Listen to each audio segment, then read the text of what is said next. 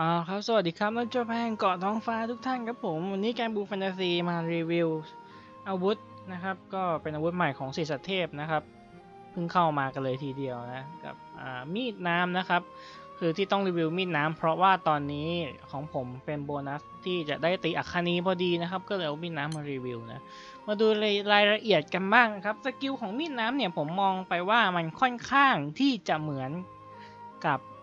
สนับ Macula นะมันจะแตกต่างกันที่ว่าสนับ Macula เนี่ยมันจะให้ double attack ด้วยนะครับ แต่ว่ามีดน้ำเนี่ยก็ไม่ให้นะจ๊ะ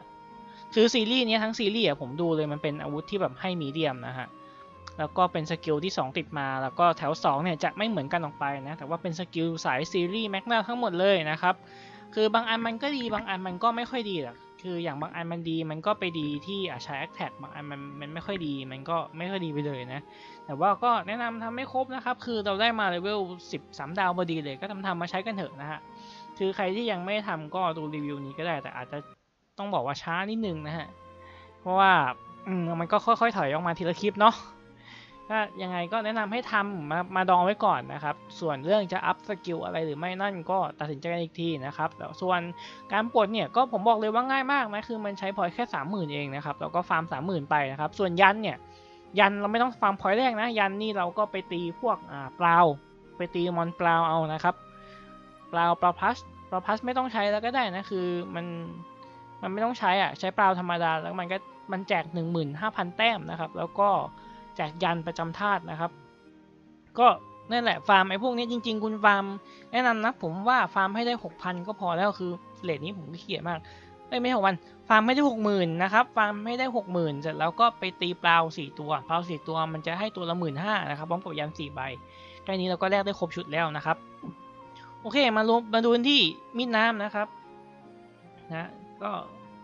skill ก็ตามที่เห็นนะ คือ charge attack เนี่ยจะเป็น boost critical hit rate นะ ผมมองว่ามันไม่ได้ค่อยดีมากเท่าไหร่นะ คือมันไม่ดีเลยแหละนะครับ ส่วนสกิลตัวแรกนะครับเป็นเอซิลเซเลนะครับ ก็คือจะบวกอ่าแอคแท็กกลางนะครับ บวกแค่กลาง แล้วก็คิติคันฮิตเลทก็บวกกลางเหมือนกันนะครับนะส่วนสกิลที่ 2 จะเป็นอิมิตี้นะก็คือไฮซุยนะมันจะมันจะเป็นโลด้วยนะครับ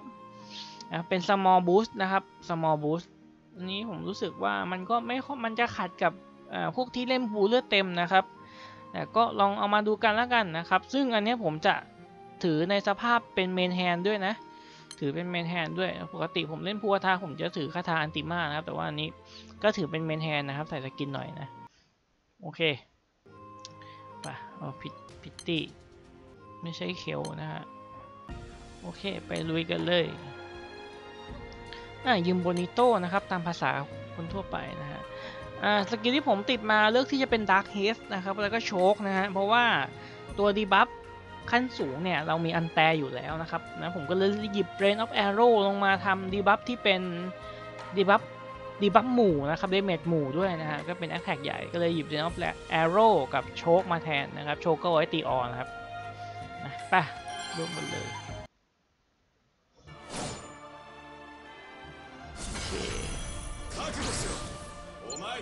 โอเคเธอแรกผมจะกดโบนิโต้เลยนะฮะ เราไม่ได้เล่นไม่ได้เล่นเนโกะแล้วนะรอบนี้เราไม่ต้องเกรงใจนะครับ กด buff กด debuff อะไรให้พร้อมนะครับลิลี่กดท่าสองเพื่อความแรง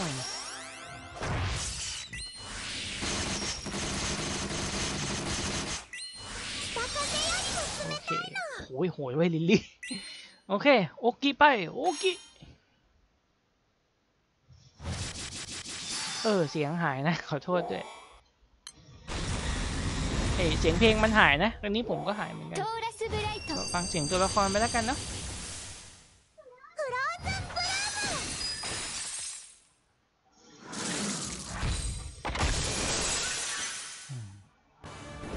มาแล้ว discharge นะ ครับซุ่มๆโอเคผมมาผมจะใช้โชคนะครับอัดหน้ากันออกไป แล้วก็ตกหน้า3ทีซ้อนเจอโชคไป3ดีไหมล่ะนะอ่าทิกเกอร์ 75 น่ากลัวไหมวะอะเรามีโดมของยูโรป้านะ โดมก็ไม่เป็นไรฮิลลิลี่ช่วยฮิวได้นะฮะ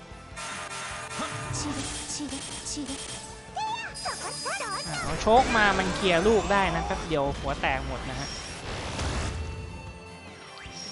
โอ้เวนจับเมน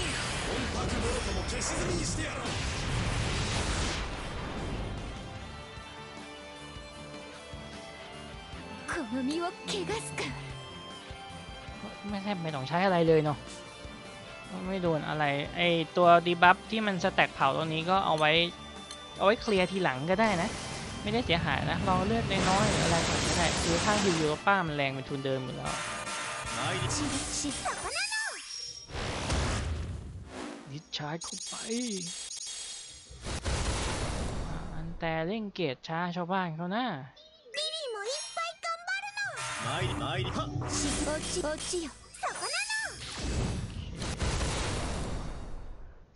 下の นาโนบักหมดแล้วกดเดอะมูนนะครับ จังหวะนี้อ่าห้าสิบเปอร์เซ็นต์มันน่าจะเป็นครีมสันเฮลิกนะงั้นผมกดกันเจ็ดสิบเปอร์เซ็นต์รอไว้เลยนะฮะนี่นะผลที่ได้ก็คือบวกคริติคัลฮิตเลสนะ แต่ว่าอันนี้มันซ้ำกับทับกับอันแต่นะครับนะคือมันจะเป็นคริติคัลกับคริติคัลนะ จริงๆ บวกของอันแต่มาตัวเดียวมันก็ก็ก็บวกเยอะแล้วเนาะ 見事です สันเทลิกต้องกดรอไว้นะ แล้วก็ติดเฟรมจากมือกันทุกคนด้วยนะครับอ่ะยังไงดังนั้นแล้วยูโรป้าตบหน้ามันแล้วหิวหลบนะอย่าดักเฮสไปนะฮะเหมือนเดิมอืมคือเลือดผมอ่ะ ค่อนข้างที่จะเมนเทนอยู่ในระดับที่สูงนะ มันก็เลยไม่เห็นผลไฮซุยมากนะครับ แล้วก็ เนื่องด้วยที่ว่าอาวุธที่เป็นไฮซุยอะไออาวุธที่เป็นเลือดน้อยตีแรงอะ มันมีอยู่แค่ชิ้นเดียวใน pool ด้วยนะ มันก็เลยแบบค่อนข้างไม่ส่งผลเต็มที่สักเท่าไหร่นะฮะ แต่พูดถึง damage output อย่างเงี้ยผมก็รู้สึกว่ามันไม่ได้แตกต่างกับ กับการที่เราถือมีดน้ำสี่ดาวนะครับ มีดน้ำมีดของของเนี่ยของงูน้ำอะเราก็ไม่ได้แตกต่างกันเท่าไหร่นะ ผมรู้สึกว่ามันดีเมคค่อนข้างที่จะใกล้เคียงด้วยซ้ำ แล้วก็ไอการเอาพุทธที่ออกมาเป็นคิติเข้าเนี่ยมันออกค่อนข้างที่ออกเยอะกว่านะ ผมเลยรู้สึกว่าแบบมันใกล้เคียง คือต่อให้เราตีเบาลงอะแต่ว่าเห็นไหมเราว่าเราได้ส่วนส่วนฟันคิติขั้นเนี่ยมันติดเข้ามาแทนนะมันเลยกลายเป็นว่าแบบเออมันหักลบกันออกไปเว้ยอันนี้ผมรู้สึกว่าก็ดี ก็ดีนะครับก็ดีใช้โชคแป๊บเดียวก็พอละโอเค ตายซะ กดทางูยะด้วยมา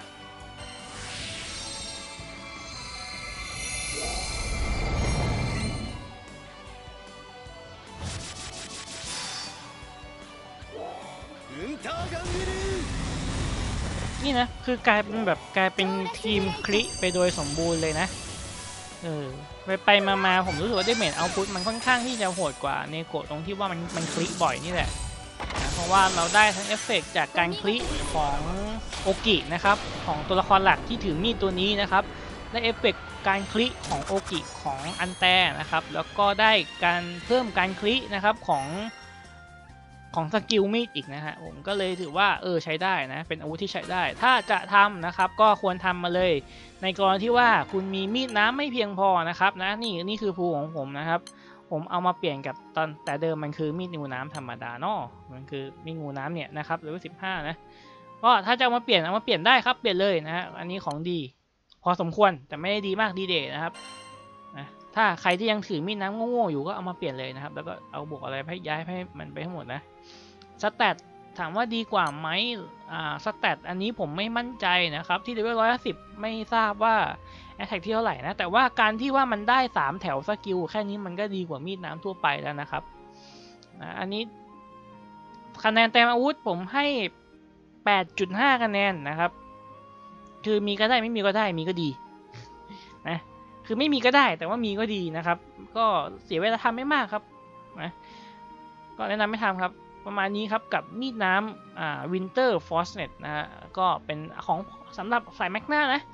พวกแมกนาควรจะต้องทำกันนะครับอาวุธอีกตัวหนึ่งที่ที่ผมดูแล้วมันเด็ดๆก็คือปืนไฟนะครับ ปืนไฟพินนี่ก็เด็ดทางโอกินะ ทางสกิลไม่ค่อยเด็ดเท่าไหร่นะครับนะส่วนทางหอกของ